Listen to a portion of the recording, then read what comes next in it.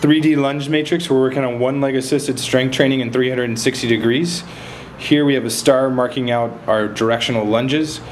You're going to shift your weight to the leg that you are lunging, focusing on trying to control the dynamics of the knee, but inevitably some valgus, some varus is going to happen with different positions. And here again, what we're replicating is that's going to happen on the field, and can you control those dangerous positions?